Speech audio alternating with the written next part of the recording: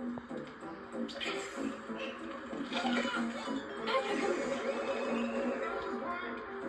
you leave your game, stay safe, stay alert, and whatever you do, don't die.